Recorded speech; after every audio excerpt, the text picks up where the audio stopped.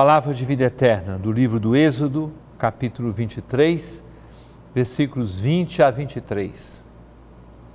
Assim diz o Senhor: Vou enviar um anjo que vá à tua frente, que te guarde pelo caminho e te conduza ao lugar que te preparei. Respeita-o e ouve a sua voz. Não lhe sejas rebelde, porque não suportarás vossas transgressões, e nele está o meu nome. Se ouvires a sua voz e fizeres tudo o que eu disser, serei inimigo dos teus inimigos e adversário dos teus adversários. O meu anjo irá à tua frente e te conduzirá à terra dos amorreus, dos hititas, dos fariseus, dos cananeus, dos heveus e dos jebuseus, e eu os exterminarei. Caríssimo irmão, caríssima irmã, hoje nós celebramos os santos anjos da guarda.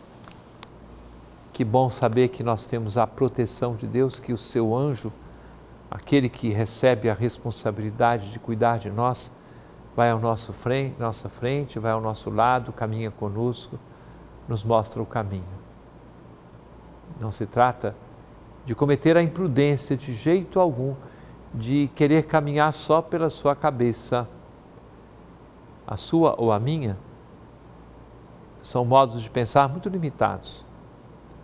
É preciso consultar a voz da consciência. É preciso deixar-nos conduzir pelo anjo da guarda que o Senhor nos envia. Contar com a proteção do anjo da guarda é importante, mas não só isso. É bom não entristecer o anjo ao qual o Senhor confiou a nossa guarda, a responsabilidade de que nós percorramos as estradas da fidelidade a Ele. É palavra de vida eterna.